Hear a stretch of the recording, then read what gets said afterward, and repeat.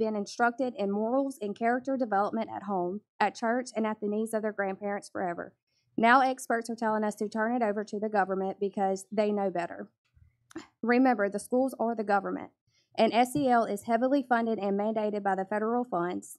Are we really going to allow this lawless federal government to be the expert? We have to stop looking for the obvious gotcha moments, and these companies are too smart to put images and graphic inclusions of sexual references and mental ideologies. Do you have any questions or anything? Thank you, ma'am. Okay, board, now we need to get approval of the minutes. We already have a motion. And a motion in a second for the minutes. We did, We have Yeah. one. Oh, oh, I'm sorry. I thought- Okay, all in favor, yes? yes. Yes. Opposed, no. Motion carries. Moving down to approval of the agenda.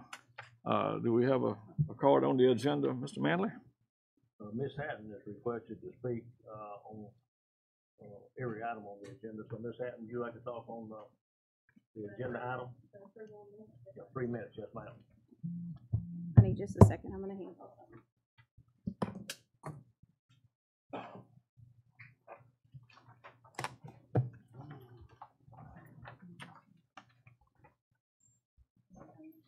If you don't, go ahead and give them one.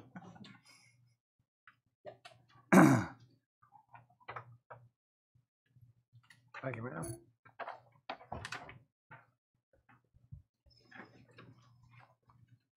So as Ms. Roxy um, mentioned, are we going to allow the federal government to be our experts? What you have in front of you right now is a um, piece of the second grade uh, Amplify curriculum.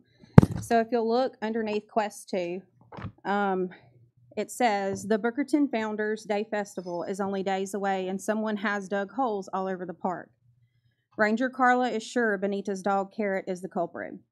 you and your curioso read Carrot's mind to help clear his name, and you use your book magic powers on a book about the soil cycle to learn how to refill the holes. Meanwhile, Carrot sniffs out the real culprit, and it's the same young woman who was cutting up the library books. What's going on? Okay. So, Miss Jen Kerrigan with Louisiana Save Our Schools helped revise and annotate our social studies um, standards for the state. This is what she has to say about this particular thing or example. This is a discussion guide for a story from Amplify Reading Grade 2. While a very cute and innocent story, I was struck by a jarring note. Is it really biased to assume a dog dug the holes? Is it that actually a very is it isn't it that actually a very normal and appropriate interpretation of what the character was seeing. Yes, maybe staying open to other facts, but unconscious bias? Really? This is a bizarre stretch of reality that teaches children to ignore their inner voice, the one that takes in information and processes it quickly, interpreting it often to keep us safe. Labeling this unconscious bias is a flaw and dangerous assumption. Um, SEL is not harmless, folks. It is literally rewiring the way our children think. So, from my perspective as a Christian mom, the first thing that I'm noticing that's in bold, if you look there, it says book magic.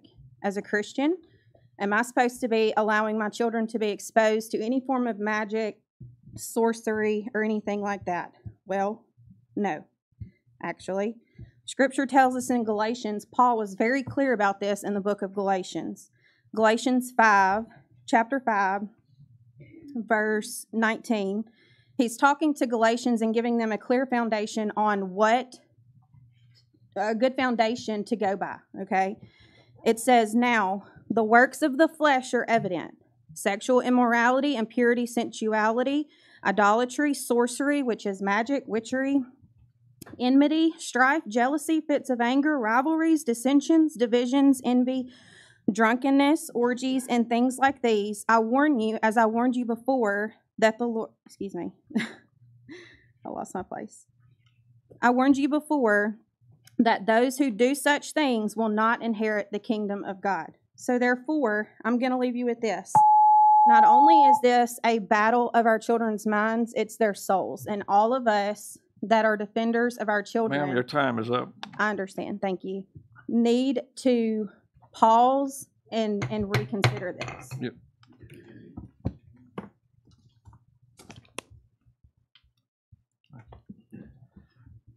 Let me also say at this point in time, uh, going forward on our new policy, uh, the cards is filled out. Uh, our intent is for the public to address specific agenda items that's shown on the agenda.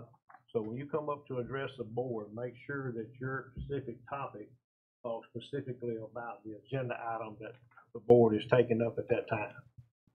So I don't wanna have to stop anybody or, or be rude to anybody. I'm just trying to let you know what our policy is gonna be going forward. So make sure you, your comments, if you filled out a card, reflect the agenda item that's up for discussion before the board.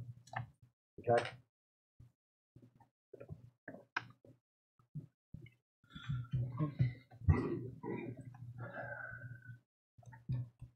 Yeah.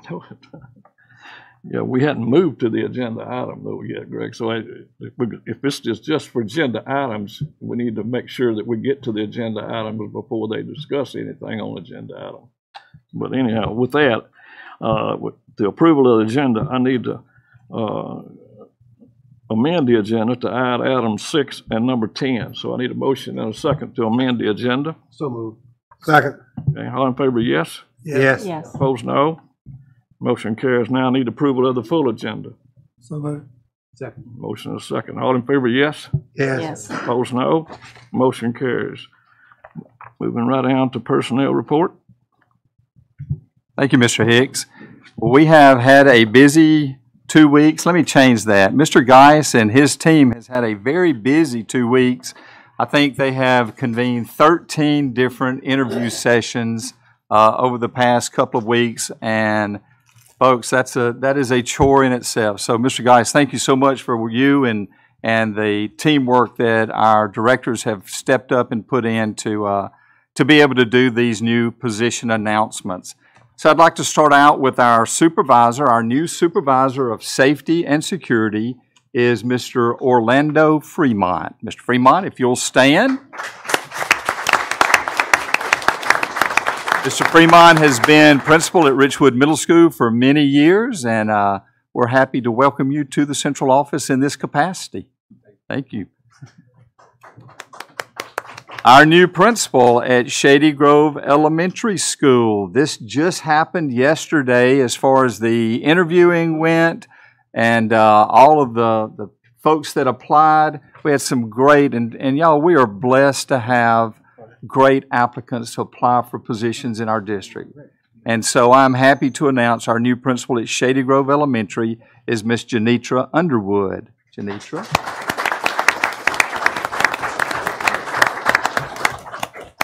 The reason we had that position come open is because our, our principal at Shady Grove decided she wanted to go back home. Robinson Elementary was open, and this was home to our transfer. She actually went through the interview process just like everyone else, and uh, she's just a, she's a gem for the Ouachita Parish School System. Our new principal at Robinson Elementary, Miss Angela Spivey.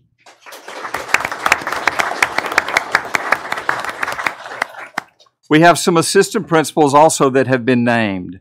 Assistant Principal for Curriculum at West Ouachita High School, Miss Randa Wigley. Back there.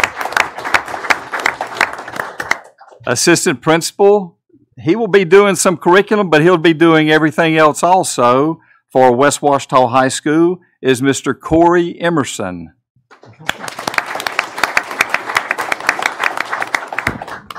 Assistant Principal at Westridge Middle School is Miss Corey Anyamachera. Corey, there you are.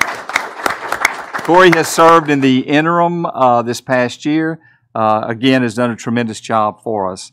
And our professional development coordinator, we're going to miss Miss Dandy Monroe terribly. She is retiring.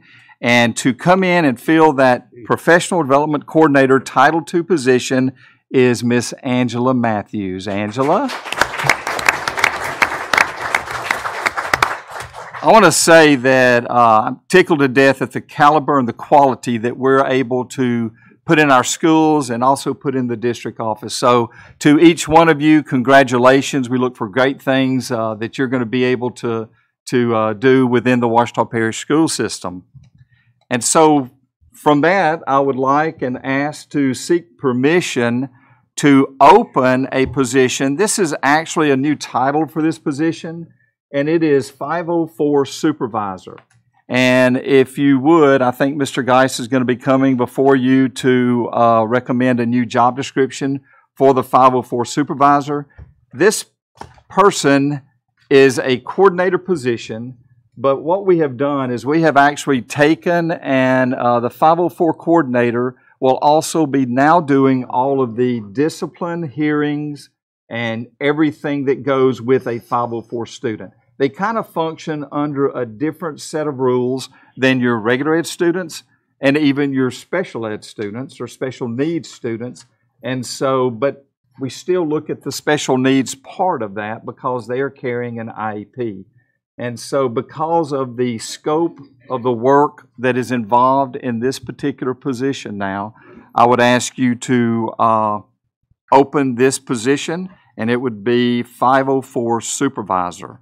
Uh, This position is actually housed over in Student Support Service with our uh, special education uh, supervisors and team, as well as our pupil appraisal team. He works hand in hand with both groups and, or not he, he or she, whoever gets it, will work hand in hand with both groups of, um, of students. Questions you might have? Yes, I do. Okay. So this person will only work with those regular ed students that have an IAP in That is- terms of discipline and, Anything, any, any question that would come up within a 504 committee meeting, IEP meeting, if it's a, a discipline or what have you, instead of going to child welfare and attendance, they actually will be coming to uh, this particular person's office to handle that. Yes. Uh, Reverend McCoy, just to follow up maybe on your question, that's the uh, job description that I sent you, and then you have a copy in your, your book. Those titles listed. The big addition, like Dr. Coker said, is item number five, to oversee the discipline plan, protocols, and procedures of 504 students by assisting schools, conducting discipline hearings and meetings as needed. We have over 1,400 current IEPs, active IEPs in the district. That is a huge undertaking, so. it is. Um, That is, um, I know he's asked you to open it, and I would ask for approval of the job description at that time as well, if you elect to do that. Okay, we have a motion and a second to approve the 504 supervisor.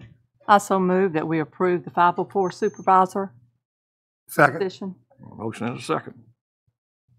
Any discussion from the board? Yes, sir. Uh, You know, as we move in that vein, I mean, I, I don't have a problem with, with the uh, job description nor uh, the job uh, uh, itself.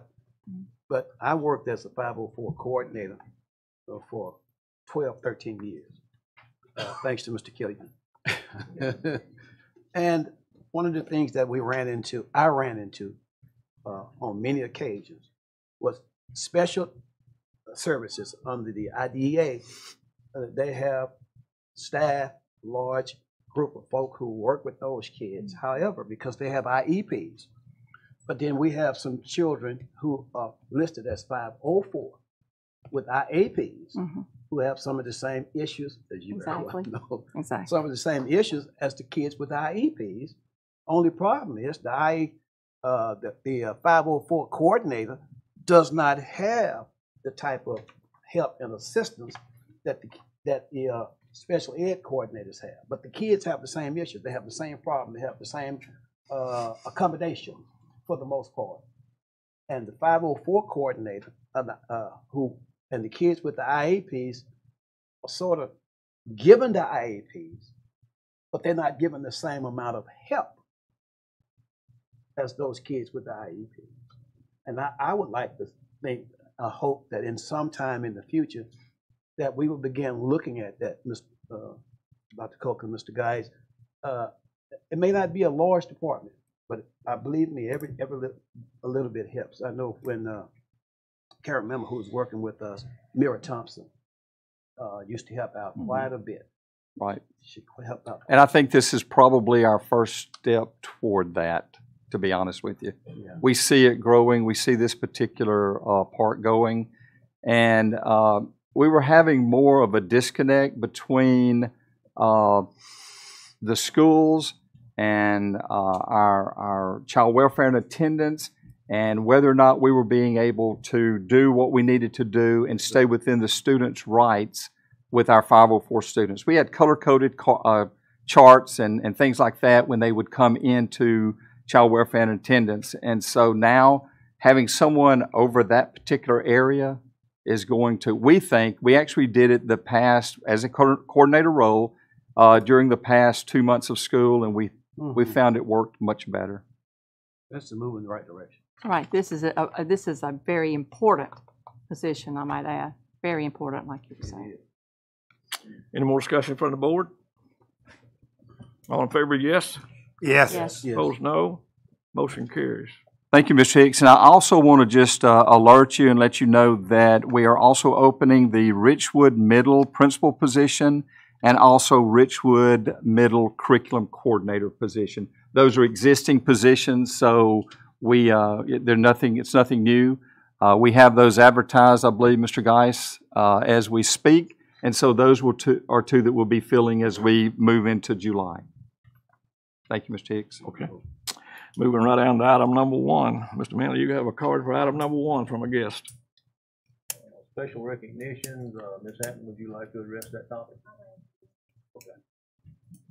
Okay, so Miss Smead is not here, so I guess I will, is someone, did she ask someone to do that?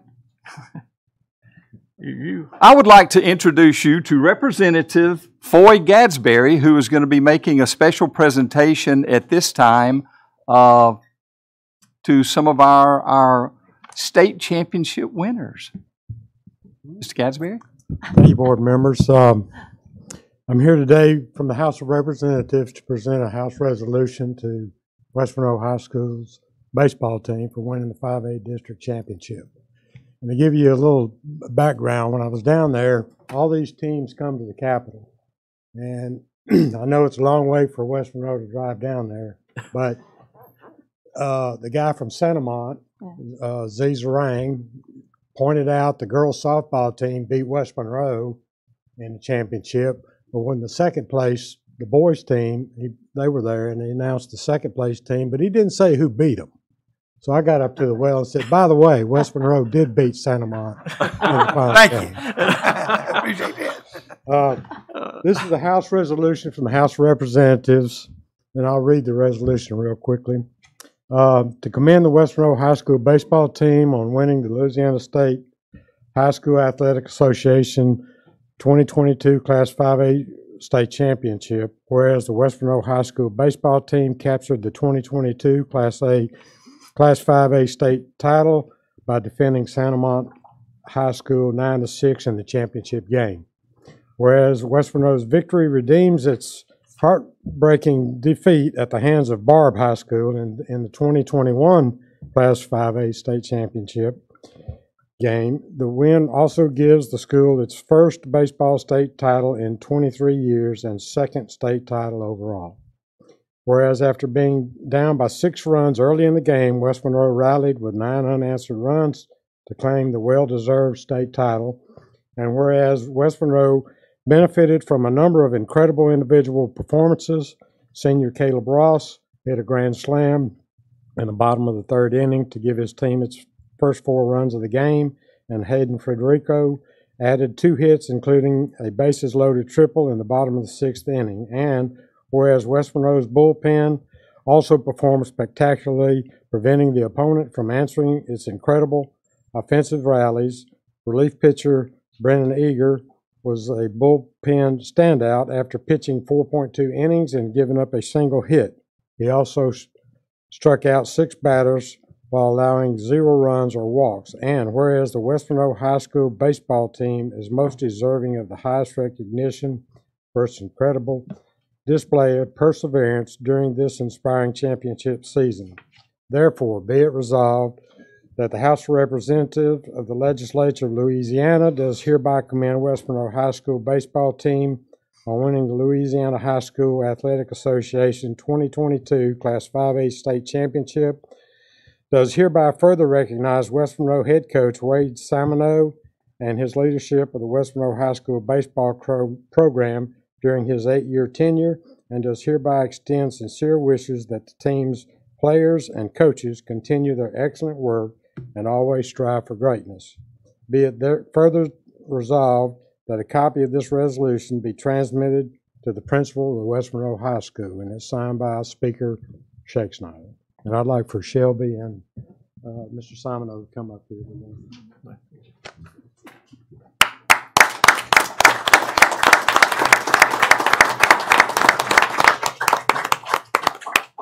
Thank you for.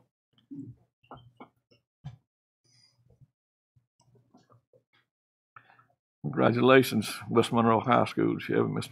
Coach. Moving down to item number two. Presentation of update of the four H program. Ms. Tara Garlington, four H Assistant Exhibit. Okay, I'm Tara Garlington from Ouachita 4-H, and it's been a while since I've seen some of you. Um, wanted to give you a, a quick update about how things are going with 4-H. Um, although our enrollment is down from what it we usually have, we're still we're still hanging in there, and uh, we're very hopeful for things to get back to normal within the next year or so. Um, right now, our enrollment is about 450. Normally, Ouachita has about a thousand youth enrolled. Um, but like I said, things are slowly um, getting back to that normal point. Um, I had 13 clubs this year, three city schools, six parish, uh, three private, and one homeschool. Um, of the parish schools, I have Calhoun Middle, um, Central Elementary, Richwood Middle, Swartz Upper, West Monroe High School, and Woodlawn Junior High. Um, we have kept things um, going strong with our Choose Health, Food, Fun, and Fitness program. That was our main focus for the school year. Um, some of those were done virtually, just depending on the situation, and some were in person. Um, we developed a, I partnered with our nutrition agents at the LSU Ag Center um, for the HYPE Coalition, which is the Healthy Young People Empowerment Coalition. And they partnered with our junior leaders, which is like my um, middle school, high school club, and we were able to get some a silly walking track installed at Charles Johnson Park um, and some tetherball sets that have been placed around the community. Um, just to promote healthy living. Um, we're also um, going to look into helping out the Simple Project, which aids the homeless and underprivileged in our community. So that's a new thing that we've added this year. Um, we do have our livestock program. Um, still have our photography club that Mayor Mitchell leads, and it's been going strong. Um, our shooting sports club has continued to do well. We've had like 130 members. Um, despite COVID, those numbers have stayed pretty steady um, with archery, rifle, shotgun, and pistol. Um, and I have a list of all the other educational opportunities listed below that you can look at. But what I'm gearing up for next week, I'm going to LSU for our 4 H University and that's for our 8th through 12th graders to go either to compete. They can win prizes, trip to you know Washington D.C., Orlando, just different places, or monetary awards. And if they don't want to compete at 4-H University, they can go to Learn. And there are so there are like 40 different things from insect ID, you know, leaf ID, um, just safety, public speaking. I mean, I could go on. It's just a great experience. And then, of course, our summer camp, July 4th through 7th for our younger youth. But I have a list there for you, so if you have questions, you know where to find me. Um, does anybody have any questions about anything? So, Scarlett, you Uh-huh. can, you can be reached at three two three twenty-two fifty-one. I can. hmm You can call me there. Okay. And I look forward to get back into the schools in person this year. So I feel like things are going to be on the upswing. Ms. Garton, quick question. Uh-huh. On your shooting sport club Uh-huh. members, you had hundred and thirty, you said? Mhm. What's the age groups on those? Four through 12. Fourth grade through twelve? Mhm. Pistol is the only one, um, you have to be 14 and up to do pistol, but the other three are fine for fourth graders too. Appreciate it. All right, thank you. Thank you. Okay. okay. Mr. Manley, you have anybody that, uh, that's, that signed the card that they'll speak on item number two? Ms. Ms. Hatton, do you have any comments specific to that? No. Okay. I do, I do have a question for Mr. D.L. Boyce. Uh, He filled out a card to discuss curriculum. Okay, uh, we don't have a topic on our agenda titled curriculum. Do you have a specific one you want to discuss or Can talk? I just interject something correct? I, I, what I wanted to ask has been answered. Okay. Um, but what I would like to request, uh, because I researched the, uh, the webpage, I researched, uh, the Facebook page, and on the little card that I filled out, it said nothing that, I could only address the items that were on the agenda, unless I've missed something. Uh, maybe possibly in the future, and, and thank you for the opportunity to address y'all. And, uh, I, my son was on the, uh, baseball team twenty-three years ago that won the state championship. A Little boy by the name of Mims Boy, so I remember. Um, and that's, he's had a wonderful memory.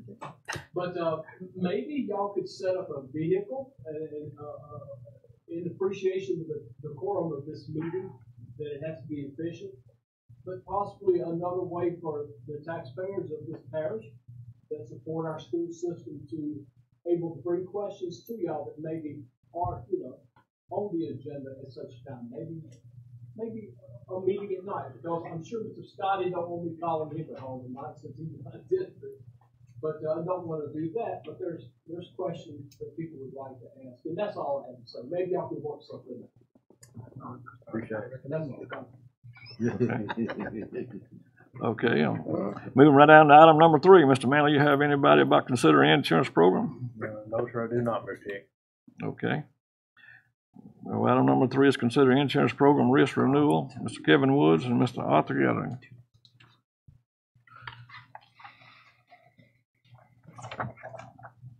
President Hicks, um, Dr. Coker.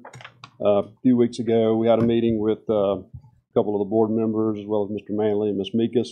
Went through the insurance program. Happy to report that even with this crazy insurance market that we're currently dealing with, we were able to bring a, essentially a flat renewal on the property, which is by large the, the biggest piece of it. We did have a, around a $38 million increase in insurable values, um, but we're still able to bring a flat property renewal um, to the table. So I think um, with the way things are, that's I'm, I'm very pleased with that, and I believe Dr. Coker and uh, Mr. Manley were as well. So I think you've got uh, the summary in front of you there. Is- If anybody has any questions. I'll just make a comment. When, when we meet with Kevin and his group, it's kind of like that doctor's appointment that you're dreading because you never really know what's going to come out of this.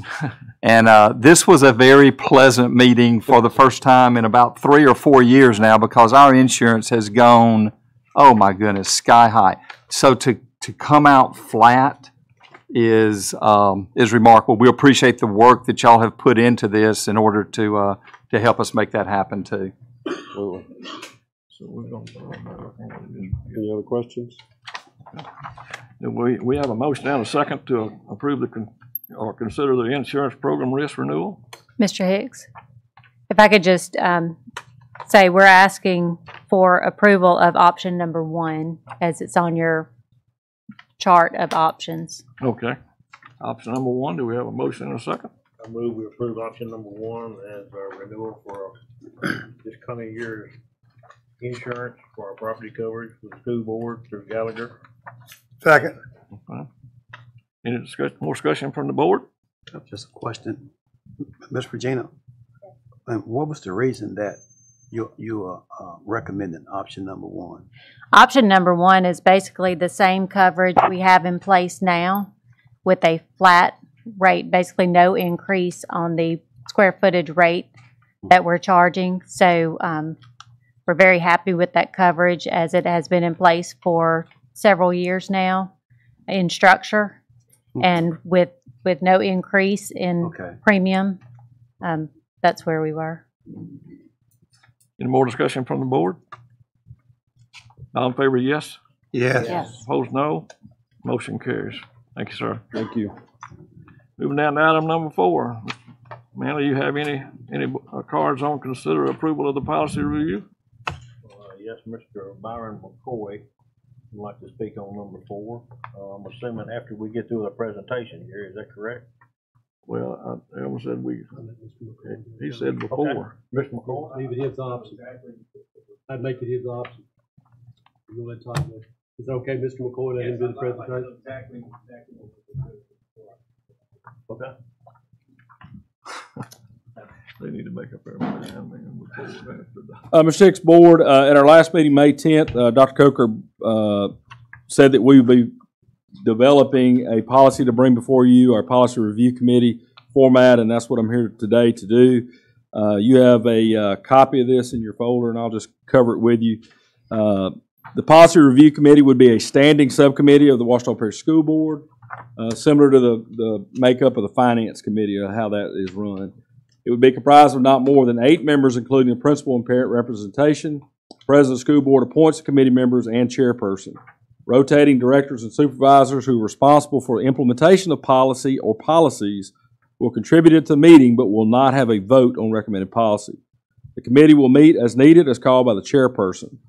So the role of the policy review committee by the Ouachita Parish School Board system includes review and recommend to the full board any changes in Ouachita Parish School System policies and regulations that are mandated by state statute, suggested by board members and/or employees of the district.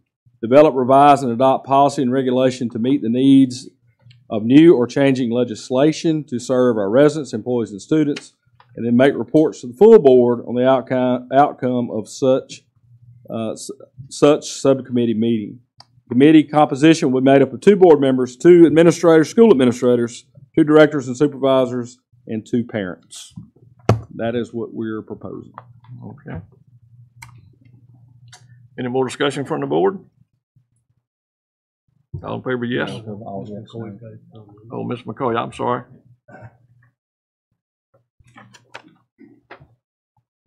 Thank you, guys. Uh, Dr. Coker, President Hicks, um, before I get started, I want to understand like the, the policy itself. Like I filled out a card to speak earlier, but you never even called on me. So the, the policy is just getting confusing. And I'm, I'm a man You that filled out a card when? For, for item, it would have been item number six, I believe. The Only card I got from you is item number four. Okay, well then something happened in the transfer of that card to you. So that, that's, that's We a haven't whole gotten nother the six issue. anyway. Yeah, that's, that's, or, I, We haven't gotten the six yet. I'm Yeah, sorry, we it was six. earlier, it was earlier in the, in the, uh, whenever Miss Tiffany spoke earlier. It was I've on the got same two item. cards from you on six and four, there's only two I got. All right, um, we tried to get an important item to you guys to get added to the agenda, and Dr. Coker said it had to be seven days prior to the meeting. We couldn't find that policy anywhere, and I'm a man that likes to like research to the core of things.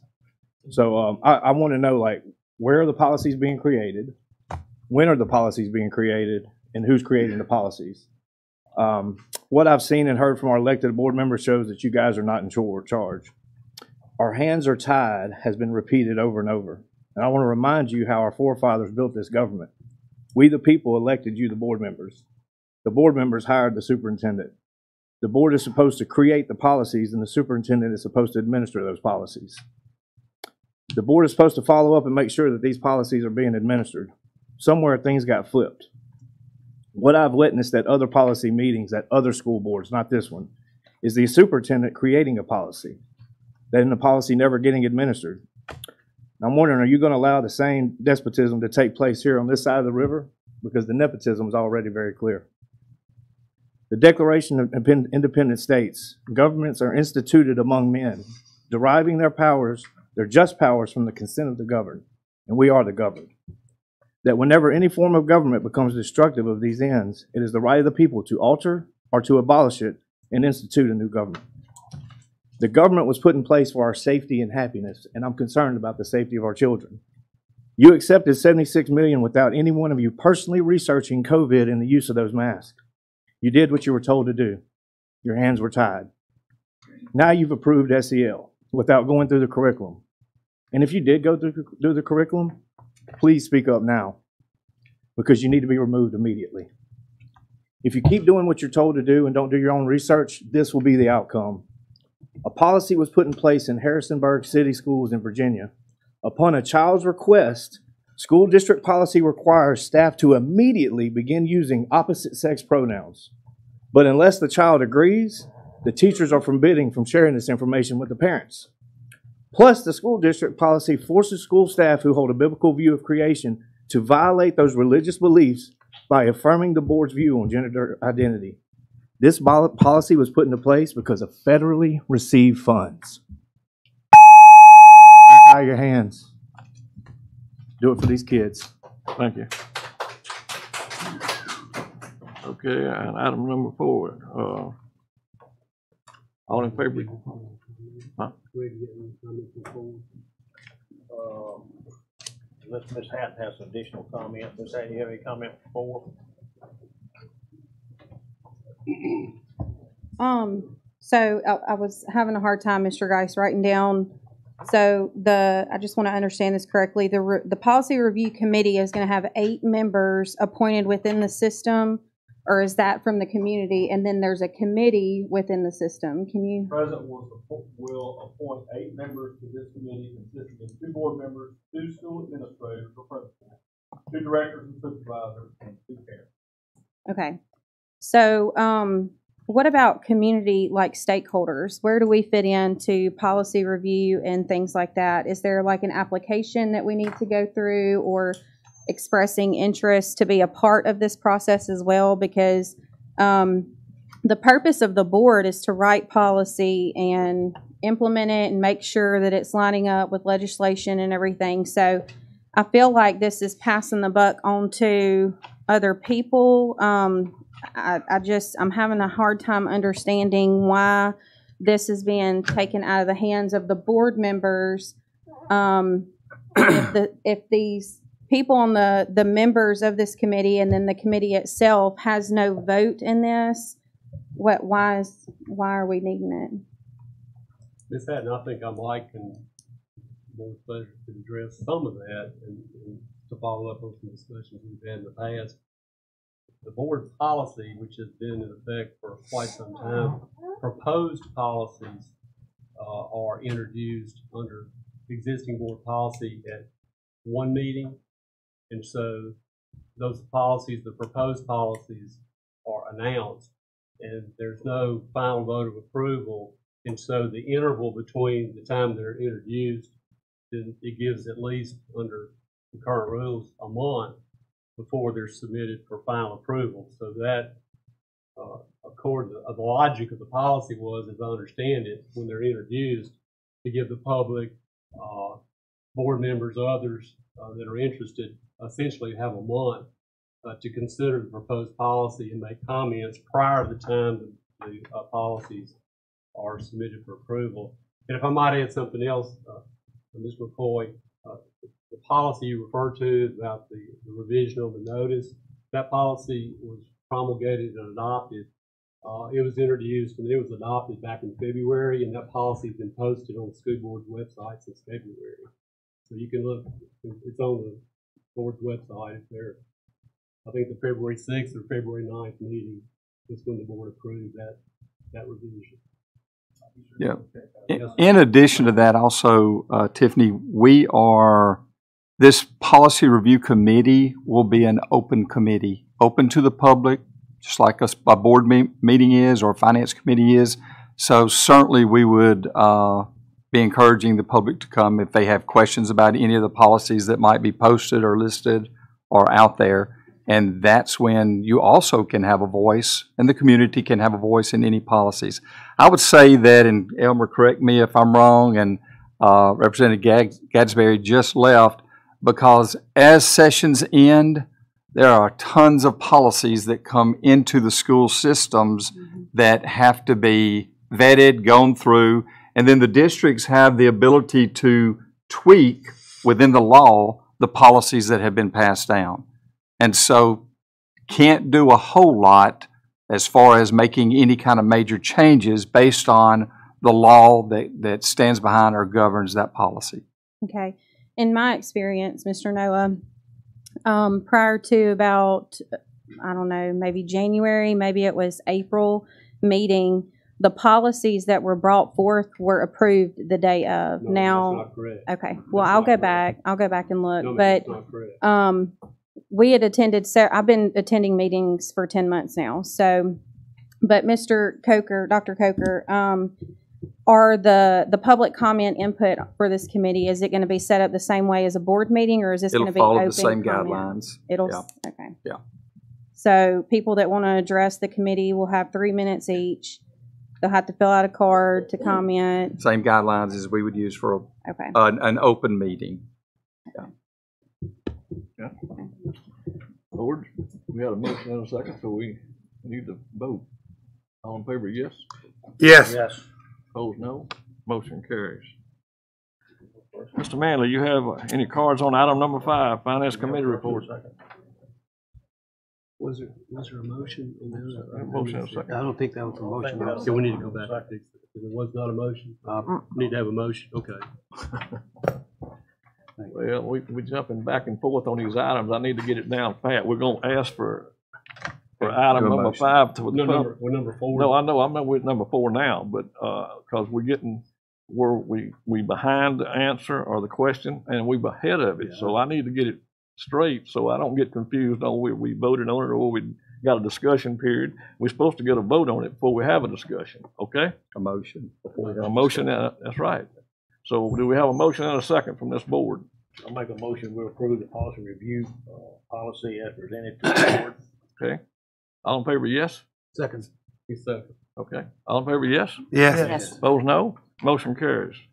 Now, to be clear, on these items, are Yes. we asking you, Mr. Manley, to ask if you got a card for this number? Or we gonna wait till we review this number and then ask for it? I need to get that straight. I personally, I would think that the person that's making a comment relative to a card that's been filled out would want to hear the presentation by the person that's discussing the topic. And then based on that presentation, agree. they might have. Well, I do too, but that ain't way we've been doing. We've been doing it presentation. first. So I would recommend that the person that is going to address the topic on the agenda to the board, uh, bring, bring that presentation. And then the, uh, person that has a concern, bring that forward. That would be my recommendation. But Mr. Noah says it's left up to the participant. Is that right, Bill? I, I think it makes more sense. I think the common sense would be for whoever's the agenda item, to let them do the May- presentation, then entertain the public comment before the board has comment. I think that's the intent of the statute, is to do the presentation and then solicit public comment, and then the board has comment. I believe that's what the statute says. Okay. I just have one comment on that, and that, that is that, uh, Mr. President, may I add and, and remind you that you have the gavel for a reason. Yeah.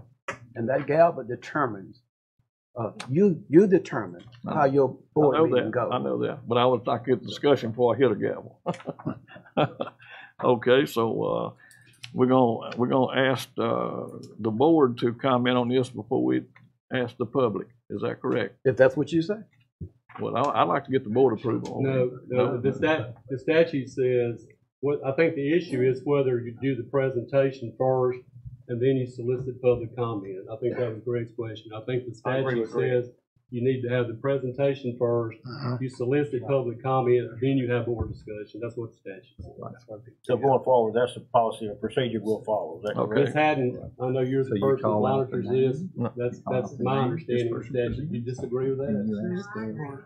They do, they do. Then do theirs, and then it comes to the board. I think it's the presentation, and then you ask for public comment, if anybody asks for public comment, by filing the card, and then you have more discussion, I think that's what the statute says. So basically, the, the the procedure going forward is, And you met like uh, Todd Dice. like this next topic is the finance committee. Todd will come up, make his presentation, and Mr. Hicks will say, is there any public comment, Mr. Manley, and I will call that person. Yep, then you come back to the That's board. right. That's what the statute says. Okay. All right, so moving down to item number five. Finance Committee report. Todd. Mr. Hicks, Board, uh, you have in your folder the uh, Finance Committee report from June, or for June 14th. Uh, The Finance Committee met uh, May 24th here in the boardroom. Uh, You also have a copy of the approved minutes from that meeting that predated that on February the 16th. So uh, the agenda items, some of these you've already heard, several of these you will be hearing later in today's meeting, so I won't go too in-depth in those. Uh, The first one was the property uh, renewal that you just approved. Um, Item number two, we have decided as a benefit to our parents in the area that have uh, children of age needing driver's ed to uh, add the skills test portion of driver's education, which will uh, be a $60 fee. Mr. uh, Boyd made a presentation to the committee. That is a greatly reduced fee and we think a benefit to our students. There's an attachment um, on our report that will go into detail. Uh, we had a discussion of, of uh, air conditioned buses and, and bus driver pay. Uh, one of our drivers, Mr. Fontana, came forward uh, to discuss these issues um, and, and requested to be on the agenda that day. So, as far as the air conditioning buses, the committee uh, made a suggestion to Mr. Boyd to develop a plan to retrofit our existing buses uh, that do not have air with air and bring that uh, plan to the committee at our next meeting on July 25th. Uh, the buses, the new buses that we're ordering, uh, are all equipped with air. Uh, so we're, we're looking at the retrofitting of those other buses, and we will have an update on that later on once he pre- presents the plan. Uh, Mr. Fontana and did lead a discussion or start a discussion about bus driver pay, uh, which also led to pay for all employees. Um, Mr. Manley emphasized, uh, who is one of our members on the finance committee, that the board would uh, was in support to look for ways to raise pay for all employees, and that's what we continue to do. And the finance committee, along with the business department, will continue to work to that end. Um, four, five, and six are all items uh, that you will hear later today, uh, which is consideration of ad valorem tax millage. Uh, the committee voted unanimously to recommend no change to the 2022 property tax millage. Um, number six, the budget revision that you'll be hearing later. The committee voted unanimously to recommend that budget revision to you today. Mr. Miller gave us an update on uh, ESSER stimulus grants. You have an attachment on the folder there that shows those updates. Uh, I think one of the big items that we discussed that our employees will be most interested in is item number eight in my report, which is to consider an ESSER funded recruitment, recovery, and retention check. Uh, the Finance Committee voted unanimously to recommend a $2,000 recruitment, recovery, and retention check to all permanent employees, all PRN nurses, all long-term substitute teachers filling a full-time position at the same school for the 22-23 school year, all learn- long-term substitute support workers filling a full-time position at the same school for the 22-23 school year who are employed on September the 6th, 2022. Uh, we have submitted that to the state for approval. We're waiting on approval. This would be similar to the uh, check that our employees received uh, around spring break. Uh, so once that is approved, Ms. Meekus will bring that resolution to you to ask for your support, but the committee uh, voted unanimously to do that. Uh, and then Mr. Hemphill brought forth a roof replacement schedule for 22-23 that is also attached at the end of your uh, packet uh, where you can see the, the roofs that uh, his department intends to address and also gave us a report on treatment plants uh, replacement in the district. So that is my report to the Finance Committee. Our next meeting will be Monday, July the 25th, 2022. Mr. Manley, do we have a card on item number five? Uh, yes, Mr. Reginald Fontana would like to address the board regarding the finance committee report. Thank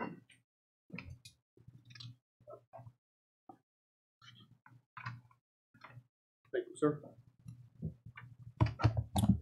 On behalf of the Ouachita Parish professional bus drivers, we are asking you to implement the AC retrofit program. This program entails retrofitting 40 buses per year uh, for the next four years, beginning with the newest buses without full AC. the purchase of new, uh, with the existing full air buses, the purchase of new buses, and the retrofitting of the existing buses that we have, we'll have a fleet of 100% uh, AC in the next five years. The cost to retrofit these buses are approximately $14,000. So we're asking $560,000 to be pledged for the next four years. Okay, we have about 270 buses in our fleet. We have 29 that are full air conditioned, eight that are on order, which gives us a total of 37 buses that we should have this year out of 270. the current plan used to purchase buses will take approximately 20 years to accomplish a full AC fleet. Other school districts have full AC fleets because they see the value in taking care of the children and employees. I see children completely red faced, sweat pouring off of them as they get off of a Ouachita Parish school bus. Just look around. We have all acclimated to AC. Farmers aren't plowing their fields and open tractors any longer. And most everyone on the road has AC. So we're asking you today to fulfill your duty and obligation to the children, bus drivers, and citizens of Ouachita Parish and implement the AC retrofit program. Lastly, on behalf of the Ouachita Parish professional bus drivers, we are asking for $3,000 raise for the 2022-23 school year. We have seen inflation, healthcare, and wage stagnation erode our purchasing power. Federal regulations continue to impose more rigorous standards for school bus drivers and drivers in training. We supervise your children. We perform pre and post trip inspections, and we navigate bus routes. We also request substitute bus drivers a pay increase to $100 for a full day, $50 for a half a day. Sub bus drivers are the lifeline between a sick bus driver and a busload of children with no driver. It is very difficult to supervise children, navigate the road, uh, and and navigate a route you've never driven. Other districts have worked diligently to increase wages, and we are asking you to do the same. So, what's your name again? I. Reginald Fontana. Reginald Fontana. Mr. Mr. Fontana, now you said that was, y- y'all had calculated, what, five hundred and sixty thousand dollars over five years? I mean, Yes, I have this. If Per if I may address the board, I will bring you a Yeah. copy of, of these, of this. Yes, sir. I like, I, li- I like to see that too. Okay. Revenue card, that's per year. Yeah. Oh, okay. Per year. Okay. Ninety-five. Make a statement. Jerry's thinking. Hey, Christian, how you doing, buddy? Uh, Mr. Dabo? You may to make that statement because I don't want to leave it with the wrong impression. Miss May, at five hundred thousand dollars per year. Forty buses a year is five hundred thousand okay, dollars so per that, year. that's, Okay. I guess what I was asking, yeah. Oh, okay. So yeah, Yeah, we're yes. looking at, uh, a little over, uh, a little over two million, uh, Over the, over, uh, four, four years, right. Okay. That would take Okay. care- okay, That would take care of this. That's Yeah. correct. We got the impression that it was five hundred and sixty over a period Oh, of, we wish that was the case. well, I thought it was, that's what you said though. But I think, you know, you were trying to rush and beat the clock. Uh, uh, That's right, that's right. That's good information though. Okay. Thank you. Thank you, Mr. Montana. Thank you. Okay, board, do we have a motion and a second to approve?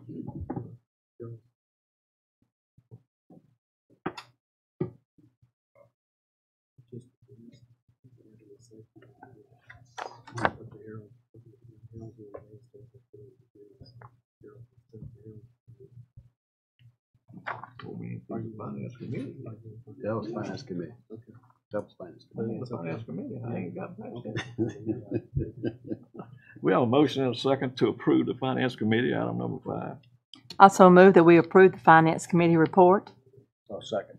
A motion and a second, all in favor, yes? Yes, sir. Opposed, no. Motion carries. Now we're down to item number six.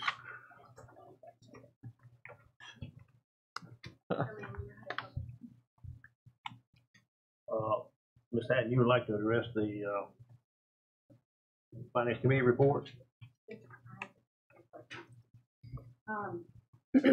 Is the July twenty-fifth Finance Committee meeting open to the public as well?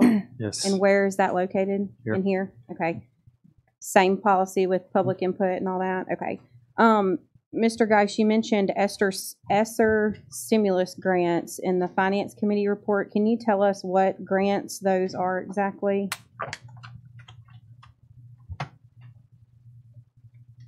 Dr. Coker, follow along, make sure this is not my area, let's see, ESSER two, ESSER three, ESSER three E ED. Thank you. That was it.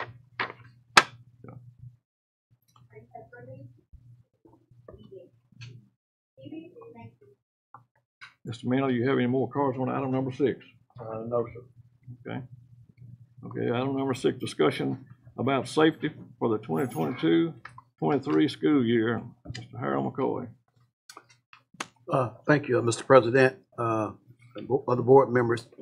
Uh, As you very well know, that over the last few years, uh, there's been a great concern about safety in schools, safety uh, on our school buses, uh, where our kids and our employees are concerned.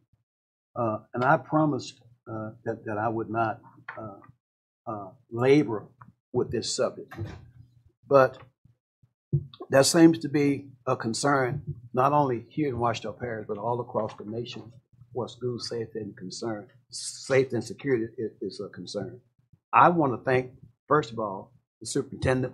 I want to thank the board, and I want to thank the district for it began moving in that direction. I didn't know that today that uh, we would uh, be uh, uh, uh, voting on a safety and security office for the district, and I think that is a, a move in the right direction.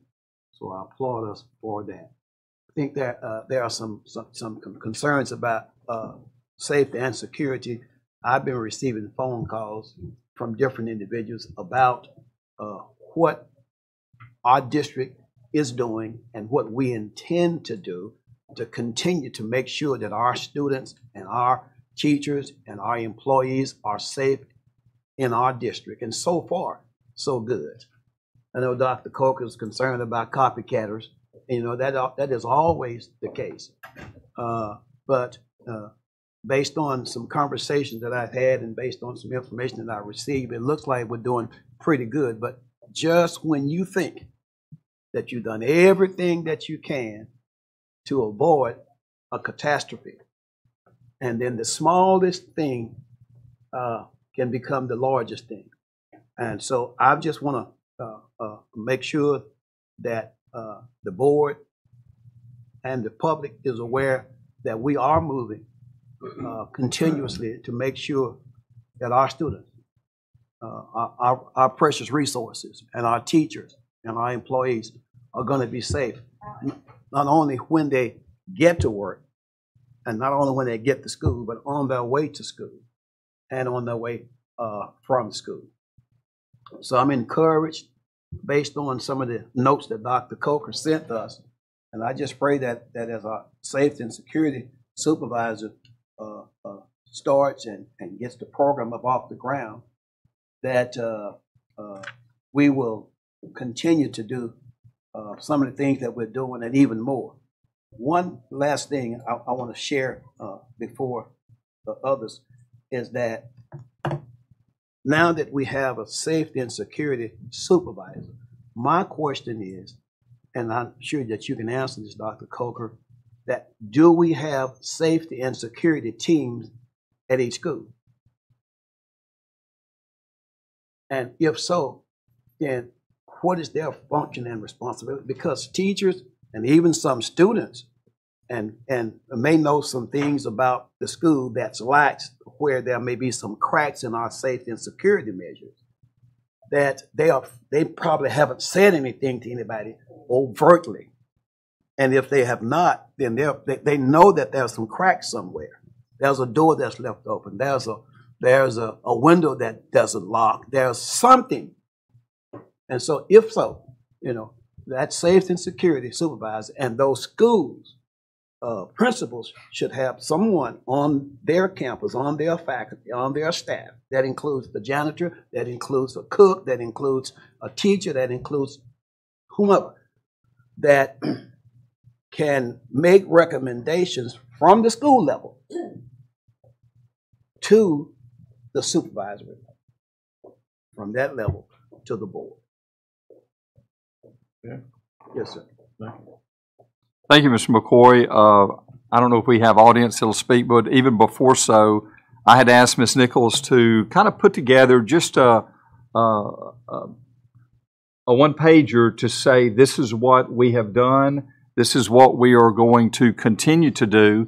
And as we go into the next school year, uh, we will spend quite a bit of time with all of our administrative leadership teams district-wide to go through, just to remind, to update, to make sure that people are on the same page. I know that all of our hearts and thoughts and prayers have been with Uvalde and, and what has happened in that particular school district. And I can speak as a superintendent, that would be the most devas- devastating thing that I could even think of for any of our kids. And they had 21 people that were killed senselessly. But for any of our kids to, or employees to face anything like that. And so, um, yes, we will be doing everything within our power to keep our people safe, to keep our students safe, our employees safe, and just making it a, a an environment where our students will be able to learn. And so, uh, Jennifer, if you'll come and just share with that, and then I'll add a few more com- comments, and we'll we will Good afternoon, Board. Uh, Mr. McCoy, to address your question, we do have a crisis management plan at each school, and it is a committee of various people from the school, and each school does have a crisis management kit in the office and active plans in place. Thank you. Um, COVID did bring us several things that, that we have, have seen are going to help with safety as well. As far as maintenance, checking outside doors, they walk around and wipe them down and check and make sure they're locked every morning. Um, between classes, they're wiping down the doors, making sure those classrooms are locked um, and that they stay locked um, because that's huge. Students come in and they report to their homeroom class. This is big for middle schools and high schools. They don't congregate like they used to due to COVID. So therefore, when they do come in, they go straight to the class instead of having an open area like a gym full of kids out in the open. So, so that's huge because that was always a, a tremendous worry for us. We have fully implemented the Rave app, which has helped us tremendously. We've tweaked it. We've gone along. All the schools have geofenced. We found a little, a few little things here and there. Like when we had the fire, we found out at Riser that they couldn't have two separate. They had they had to have one campus together, not two separate, because they shared the cafeteria. So, you know, a few things have been tweaked. We do have all of that online. We plan on going back to live um, active shooter drills this year. Hopefully, the COVID COVID pandemic kind of messed some of that up. Uh, I think that's very eye opening. I attended the one that was at West Ouachita that we did two years ago, and I think it's a great thing, as well as coming and showing videos of some of the, of these things to our employees. Um, the administrators do walk the halls to ensure that the doors are closed and locked because I know some schools have trouble with the gym wanting to leave them open.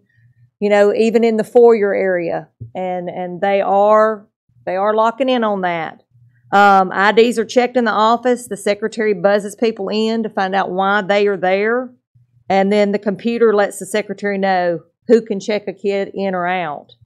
Um, we do have cameras all outside the buildings, and we're working on some other things with hopefully getting cameras everywhere in the school and hopefully allowing our new safety and security director, he would have access to that to talk with police to let them know exactly where those cameras are. So those are some things that we have, you know, coming in place. We do practice our drills. The lockdown drills are important. They do have to turn those in as well as their fire drills and their tornado drills. Um, and the fire drills actually go directly to the fire department. Um, maintenance, make sure that our, our campuses, our gates are locked. We have put in some, some gates. We're looking at extending some gates in a, at a couple of schools, but those gates are locked. The kids can go out, but no one can come in so that when they are out at lunch, they're not just out in the open for any stranger to come up. That's helped tremendously in our schools. Um, let's see. A lot of the schools have the bulletproof glass with the office. Um, those are some things we've worked on. We have a good messaging system. Each school has that emergency kit, the school uh, crisis plan. Um, all staff are trained at the beginning, the middle, and at the end of the year. They're reminded constantly at our at our uh, administrator meetings and to go back and represent to their staff.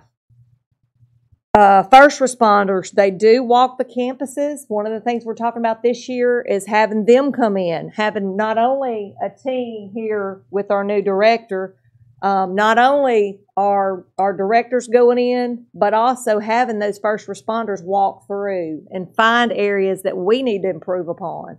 See if they find any compr- compromising areas. So those are the things that we're doing just to ensure that our kids are safe. Anybody have any questions? Well, just to, to tag on to that, uh, I actually spoke with Sheriff Russell yesterday, Jay Russell. Uh, we are very fortunate to have a uh, very proactive uh, law enforcement group that's around us, even in the smaller municipalities. But uh, I would say that uh, for most of our outlying schools in the parish, the sheriff's department, uh, fire department, they're going to be first responders that's going to get there immediately. And, uh, you know, talking with Jay yesterday, I, I can't, I don't want to fail to mention Jeff Terrell also in West Monroe PD. They, the sheriff's department has provided five SRO officers for us in our schools that they pay pay for out of a tax that they had levied. And so West Monroe PD also adds, because of the size of it, an additional SRO officer at West Monroe High School. And so, what I would love, I don't know how we would do it financially, is to have an officer in every school. That's that is the the problem there is manpower because you can't when we when we have details to go into some of our schools, we can't get the details to go in. We don't the manpower is not out there to uh, through any of our law enforcement to actually cover some of the uh, details that we have asked to to be covered. And this is with the school system paying those uh, those hourly rates is what it amounts to on that. Uh, training is is huge. That is a big part of what we're trying to do, not only with our administrators, but with our teachers and our support staff, whether it's the cafeteria or the maintenance or the secretaries and uh, bookkeepers who are usually the front line of, of anyone that might hear or get any kind of threat that would be coming in. Uh, one other area that we have, and I know we've had some bus drivers here today, y'all, what our bus drivers have to have to do when they go and pick students up, never knowing who might be outside there ready to come onto that bus. I think they have been trained very well on how to diffuse and to to offset that. And so um, we can work hard and we can work smart on doing what we're trying to do, but in the same sense, if you have a deranged person out there that has in their mind that they're going to make harm to someone, uh, you know, we, we, we rely on prayer and God to help us with all that, is what it amounts to. And so uh, it is one of the biggest challenges that we have in a school system right now is just making sure that our kids are safe, that they are secured there, and that we have the processes to follow to make sure that, that we keep them that way. And, and one of the new um, things that schools are doing is a see it, say it platform. If you see it, you say it, and it will be kept confidential. You know, we have to be proactive, we have to be intentional with our procedures, and we have to follow through. Um, it's just like when we had the fire, the next day we had training on fire. And we watched a video of how quickly and how fortunate we were that Riser Middle and Riser Elementary did not go down in flames. Um, so again, we have to be intentional. Another thing that I didn't mention was Crime Stoppers. We do have Crime Stoppers. We got the posters in that will be going in the schools, and this is where the kids, if they know something, they can report something anonymously, and then it comes back to the safety director. The safety director can contact the principal or the school, and they can get to the problem. And I think that's great. At, you know, involving the kids in that. The kids have to be a big part of this. They have to feel comfortable. They have to know that, that it's going to be discreet and they've, they've got to be able to go and tell someone. So the see it, say it is huge. Uh, I think one, one of the main things too is that even the per- persons who are in our schools have to be conscious enough and cognizant enough to not to become so relaxed and so comfortable that they'll leave a door propped open or leave a window cracked, uh, something of that nature. And I think that whatever is happening at the, uh, with the uh, crisis management team, obviously, those concerns have to filter down to every student. That, that, that at the moment that you think that it won't happen, may be the time that it does happen. That'll be just that one time that, that, and that God forbid that we become a Uvalde. Our district becomes like Uvalde. Uh, so, uh, you know, quite frankly, normally when I visit schools, believe it or not, I do, uh, sort of look to see if everything is, uh, secured as it should be. And I may mention it, uh, to a principal and casually, uh, and, and I know that, that this is not a subject that most people want to discuss, but it's that time that you choose not to discuss it. Uh, I'd rather be glad, I'd rather be able to say I'm glad I did than to have to say I wish I had. Absolutely. Okay, Thank you. Thank you. Thank you. Ms. Nichols. Yeah, Mr. Manley, you have any comments, any Yes, cards? We have three people who'd like to address the board on this particular topic. Uh, I'll call first Ms. Patsy LaBeouf.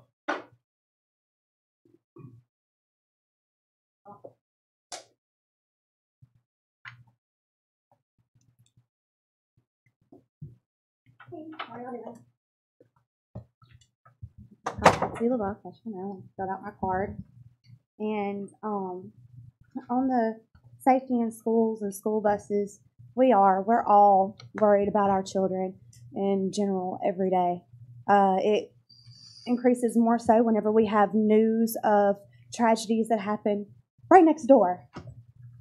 Uh, on I do believe that our schools are fairly safe. There are a few things that parents and teachers have noticed, have brought up. Some can't, won't, say they won't come talk to people. It's it's heartening, disheartening, it's so sad that they can see it but are afraid to come talk to anybody about it. Um, when y'all were talking about the safety of our children, does that include what's poured into their minds, what's taught to them, what's told them, what's put around them and in front of their face daily? Does that say, does that include safety? Is that included in the safety? Like, does curriculum fall under the safety of our children? Because, you know, some curriculum isn't safe for our children. Some of the stuff that's being brought forward is uh, not age appropriate for some children. And I believe that's a safety issue. Um,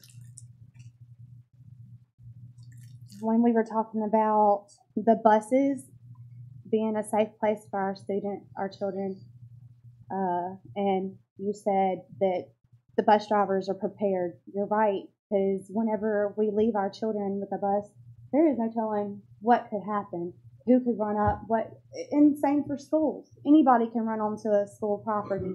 I mean, especially if there's not a gate or a person to supervise that property. Um, you say our, our bus drivers are trained to handle uh, people and diffuse those kinds of situations. Um,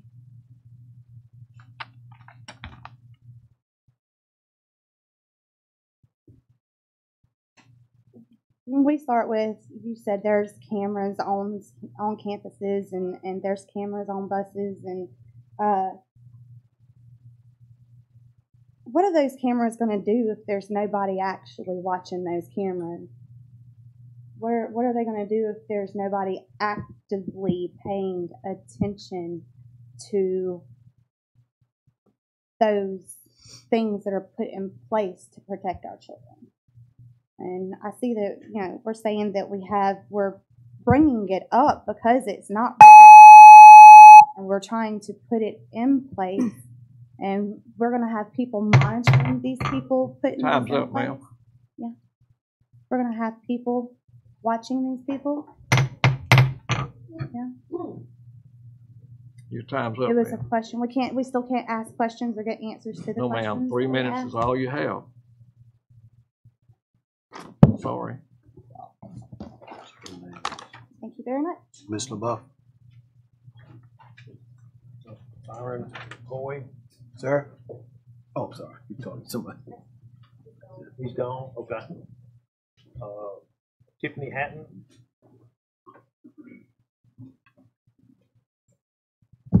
So I, I took notes as we were, as y'all were presenting and um, everything. So I just want to give you a perspective from a teacher. Okay, I worked for the parish for six and a half years. Active shooter drills are traumatizing, and oftentimes they are unannounced to staff. So at West Ouachita specifically, because that's where I worked, we had bomb threats. We had a gun in the locker room. We had knives in classes, all kinds of things that we that was never brought to our attention as a whole until we had, you know, a lockdown or something like that. I understand that we're to treat every situation as if it is the real thing. But if an active shooter drill is in fact a drill, I believe from an educator standpoint that the educators should be alerted to that and also um, that I suggest it be a school-wide thing for that day so that the children are aware that it is not a real, but we need to pretend and it be something um, that everybody works together on because um, students had to be checked out afterwards. Students were having um, anxiety fits, panic attacks. I experienced several things myself as an educator. Um, had to take some self care days after one instance um, of safety in the schools. So, some suggestions that I would like to make um, and some questions I have is what sources outside of police can we utilize? Mr. McCoy, veterans, we have police in reserves, we have National Guard guardsmen in reserves. Why are they not be, being offered the same pay as our police? I mean, our trained veterans um, probably have more extensive training than our police do. What about a parental presence? Can you have a committee of dads at each school? Um, is there a reporting uh, system in place to address the cracks, Mr. McCoy, in each school? Is there an app or a reporting page or something that kids can report those cracks to their guidance counselors or principals? Who is the safety and security supervisor? And then the other thing that I'd like to know is do principals have local power and authority to approve concealed firearms with it with the sheriff's knowledge and resource officer knowledge? That was a lot. I'm trying to beat that clock. Just submit those questions to me. Do you? Okay. So who was the appointed safety and security supervisor? Mr. Fremont, Mr. Orlando Fremont is our new one. Fremont. And where where can educators? I'm um, sorry? Mr. Orlando Fremont. So parents and Time's up, students could technically email Mr. Fremont with any concerns of cracks in the system. Okay. Thank you. Thank you.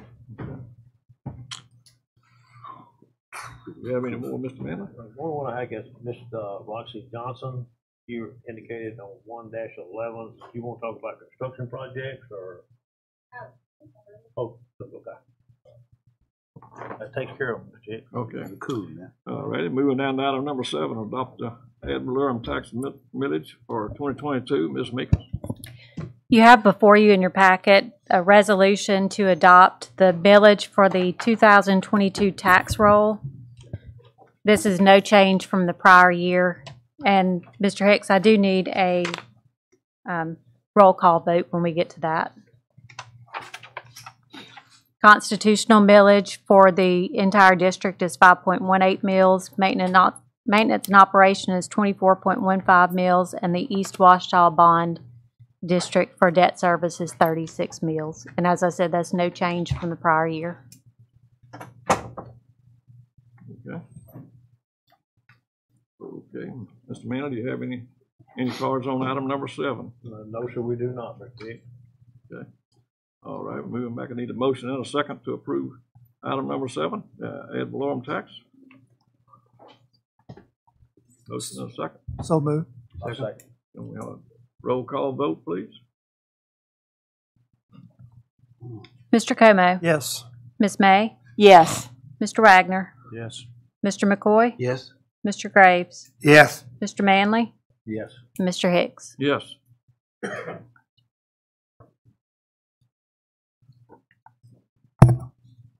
So moving on that, uh, items is passed, so any more discussion? Moving right down, to number eight, consider annual operating budget revision number one for twenty twenty-one and twenty twenty-two, Ms. Makers?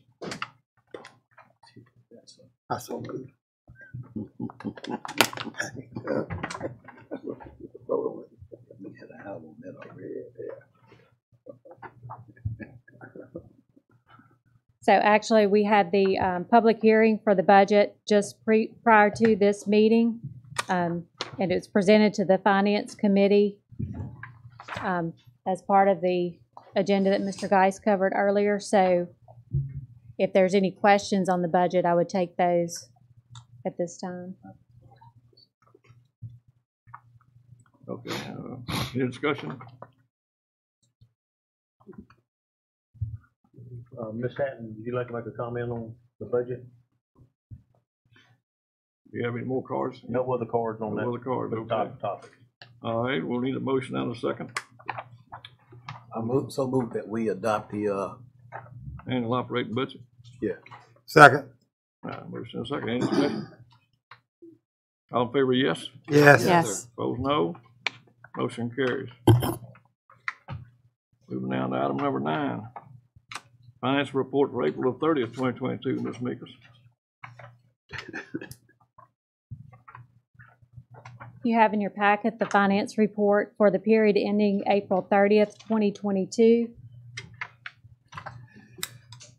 As you'll see for the general fund, we're ending the, the current period with forty million in fund balance. And I know I remind you all of this every month whenever we talk about it, but, um, as you know, a lot of our salaries and benefits are prorated for the period. So as we go into the month of May, months of May and June, you'll see that number come down back to what was actually the budgeted um, fund balance for the year. For the district M and O, um, we are seeing an increase in sales tax collections, not quite what we've seen in prior years, but um, we budgeted very conservatively in the current year, and we're seeing um, we're up currently about 13% over the original budget.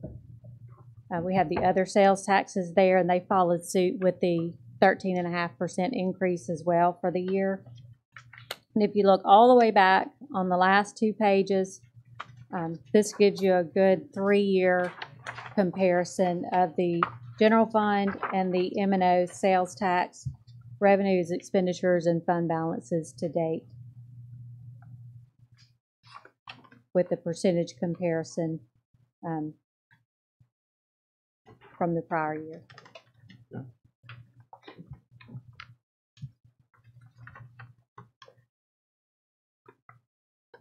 You have any questions? From this? Uh, We have any, Ms. Hatton, would you like to make a comment on this? No other cards, Mr. All right, well, I need a motion and a second to report- approve the financial report for April the thirtieth. So move. Second. Motion and a second. Discussion from the board. All in favor, yes? Yes. Yes. Opposed, no. Motion carries. Moving down to item number ten, select architect for roof replacements at Swartz Lower, Robinson, Crosley, Highland, Slusher. Yes, Mr. Hicks, board members, uh, I apologize for this being added. When I give Peggy the, the schools, I left out Highland. We had to go back and put Highland on it. But it was the original, one of the original four schools that the finance committee approved, uh, with the roof and budget. Uh, and as always, we've let the board member in whose district the school is uh, represented uh, determine who the architect's going to be. just for general information, the Swartz Lower, uh, is gonna be all a flat roof. Robinson is a cafeteria. Island's a cafeteria in the front, very front wing. And Crosley is gonna be the whole school, basically the whole school. Uh, the fee, the architect fee will be six percent on all of these projects. And, uh, start wherever y'all want to. Swartz Lower, Mr. Graves. Yes, sir. I'd like to do an Architect Alliance Group. TBA. Yes, LLC. We'll do them one at a time, Mr. Hicks. Yes, sir, please. Uh, uh, Mr. uh, McCoy's got somebody different he wants to Robert. next. McCoy? What's the question? Robinson? How many do I have? Two? Sir? Two. What's the other school? Yeah. Robinson and Crosley. I'm gonna do uh, Robinson, I will do uh, Robinson with uh, Land, and then Crosley with uh, TBA, Architectural Alliance, LLC. That's two different ones. Yeah. Tim two different- Brandon Architecture is TBA. I apologize, excuse me. Crosley is TBA. No. No, it's Architectural Alliance. Okay. Alliance. Okay, I apologize. Yeah. Highland will be on behalf of Mr. Hicks, TBA.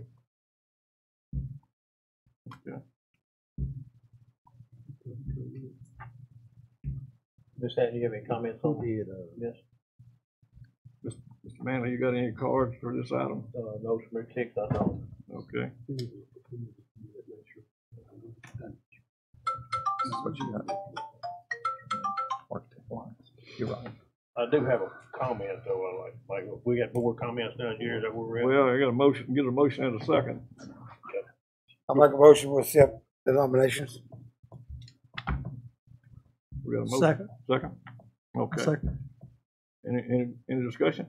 Just to make sure that Peggy has this and we're clear on this, Swartz Lower will be Architect Alliance, Robinson will be Land, Crosley will be Architect Alliance, and Highland will be TBA. Is that correct, board members? Yes. Uh-huh. Yes. Okay. The, the only question I had was, uh, Mr. Slusher indicated that Robinson was gonna have a flat roof replaced, is that correct? Robinson's a cafeteria. Uh, Swartz Okay. flat. Wh- What school with a flat roof? Swartz, Lower. Swartz Lower, all the flat roofs. Okay, and what was the other school with a flat roof? Uh, Highland has both. I don't have both. I guess my question, you know, I'll just bring this up for discussion purposes. If we're replacing a existing flat roof, do we need an architect? David, I guess I'll direct that to you. Do we need an architect to tell us what to do on, or tell the contractor what to do on replacing a flat roof? Mr. Bannon, can I answer that my question? understanding, they're all being redesigned. They're all being all redesigned? The last time we didn't do that, it cost us a half million dollars, and somebody overcharged us on a flat roof. Right. I'm not gonna call no names, but we need some, you know, What do you recommend? architect. I guess my question is still on the table. Uh, Mr. Hempfield, is there a particular reason why we're requesting an architect on replacing just a flat roof? Put on different than what we have now, so they'll have a roll head, turn both of the tax side, so it won't be a, like a hot tire drill out there, they'll just put. it in, you know, so, it'll be designed how they design it. Okay. That answered my question. Did we get a motion on a second on that? I think we already got it. All right, okay, all in favor, yes? Yes. Opposed, no. Motion carries. Moving down to item number eleven, construction renovation project. Uh, yes, Mr. Hicks, board members, you should have in front of you a project status report from TBA, uh, on Bowley, uh, West Ouachita High School and the riser restrooms. we had a meeting this morning at Bowley at nine o'clock. Uh, Mr. Comeaux was there. Uh, and of course, Dr. Coker. It, uh,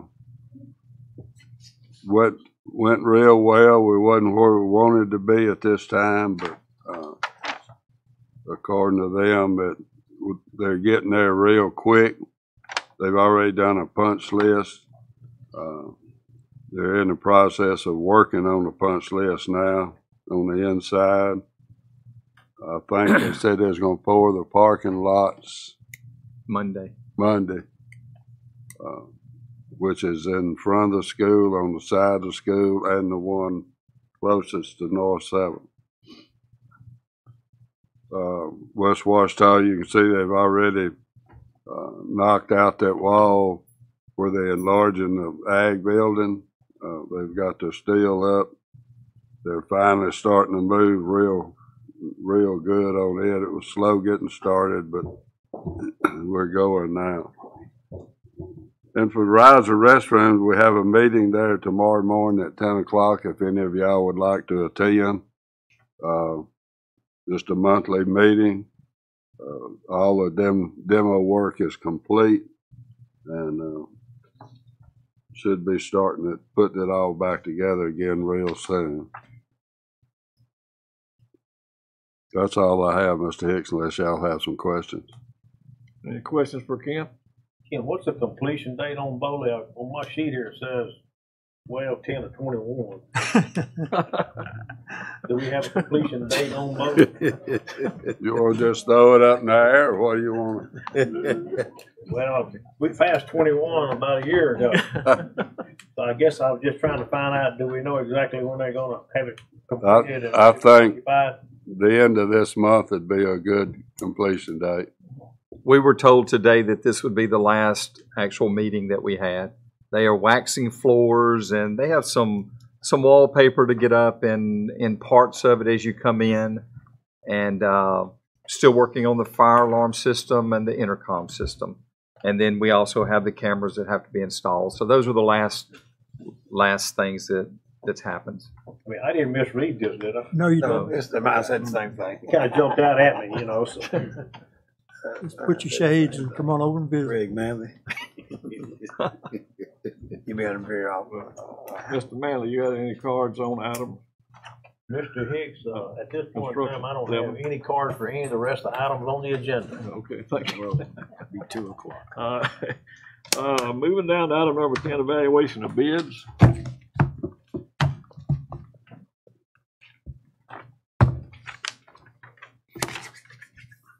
I apologize for you all having to listen to me again and not have Mr. McCormick here to oh, speak Oh, that's to no you. problem. He has abandoned us for a few days. But we have three items that we received bids on. Wood chips and air filters. I would request that, sorry, wood chips and poster printers. I would request that we approve the lowest responsible bidders as you have in your packet. Air filters, we had no response on those bids, so we are, we are looking at other options and may possibly come back to you in the future to rebid. Okay, that items one and two, you say you didn't have any on items three? I did not have any on item two. Oh, number two, okay, So item one and three, one and Um, three. yes, sir. You wanna take both of them at the same time? Sure. For the wood chips, the lowest responsive bidder is Bliss Products at twenty-eight dollars a yard. And for the um, poster printers, you have the list in front of you. AGC would be the lowest responsive bidder. Okay. Did y'all, am I the only one that didn't get the list? No. I didn't get one either. I don't have a list have a either. list. I'll take a word for it. Yeah. What do we have, a, a motion on items one, to three? Accept the bids? I so move. Second. You second? Any discussion from the board? Where are wood chips coming from? What, what are we moving on? What are we, uh? One and. One and three. One and three. One and three. But Bliss know what the- Products. Where? What the lowest bid Bliss. was? Minden? I don't know what city. Oh, okay. Um, Mr. McCormick provided me with the name of, with the evaluation of the bid and the name of the bidder, Okay, that's it. Who was the but wood we chipper? can let you know. Who was Bliss, the- Who was the lowest wood chipper, and what was their bid? Bliss Products is twenty-eight dollars per yard. And the posters and printers, who was that one? The posters were AGC. And we have a list of about, um, thirty-nine items on the poster, poster printers that were evaluated with that bid. Regina, can you make a note to check with Wayland to make sure that we have wood chips for the new playground at Bowley? Because I'm not sure at that time the principal were, was actually thinking that they were gonna need wood chips in their new playground areas. So if we need to, um, check that out. Yes, sir, and I believe, um, as I understand it, we order the wood chips and we store the wood chips and then provide them as needed, so Right. we should be good, but I will make sure that he has enough ordered for them.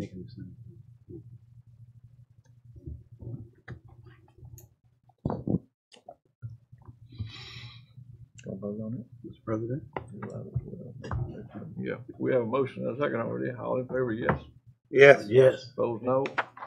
Motion carries. Mr. Manley, you don't have a card on item number ten? No more. No more? No more cards. Well, I thought I had to ask that after each item though, because I didn't know we could go all the way down from one to four, so uh, we don't have one for ten either, I guess. I do not have I a done got card. shell shocked on this once.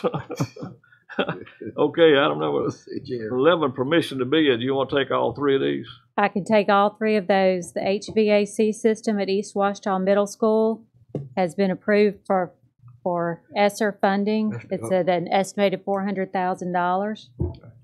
Item number two, musical instruments, um, and of course, these are across the district, various instruments that we would put together a bid and submit. Um, it would be bid number oh two two three.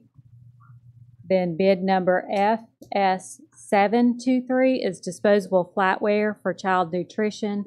We're estimated about a hundred thousand dollars, um, and that is out of the child nutrition grant. We have a motion and a second to approve this permission to bid. So moved. Second. Any discussion from the board? Dr. Coker, we had, uh, correct me if I'm wrong, Todd, but, uh, did we bring up and discuss in the finance committee about, uh, putting the canopies at Stearns High School in Richwood, uh, outside covering for eating purposes due to, es- with ESSER funds? I think that was some discussion. It's discussed, it's not been approved yet. Okay, so we submitted that for approval. I'm not sure if Clint has or not. Okay, but it's, okay, It's one of the items on the list. okay, good. Any more discussion from the board?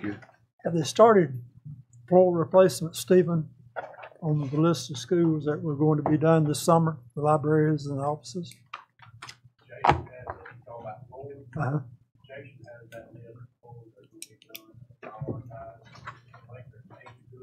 Right, have they started yet, or do you know? Have they started work yet? Okay.